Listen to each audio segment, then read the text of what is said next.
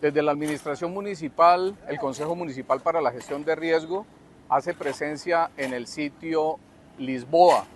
PR 42 más 500, sector del deslizamiento, en donde se presentó esta mañana lluvias torrenciales que afectaron el paso vehicular y las viviendas aledañas a donde se estaba presentando este deslizamiento. El informe que nos presenta Ruta del Cacao de manera verbal es que se presenta eh, no deslizamiento de terreno, sino escorrentida por las lluvias torrenciales que se presentaron, lo cual ocasionó el movimiento de barro y rocas taponando una de las alcantarillas y pasándose por encima de la vía hacia las viviendas aledañas. En este momento, por parte de la Administración Municipal y la Personería Municipal, se está haciendo la revisión de las afectaciones que se presentaron a estas comunidades.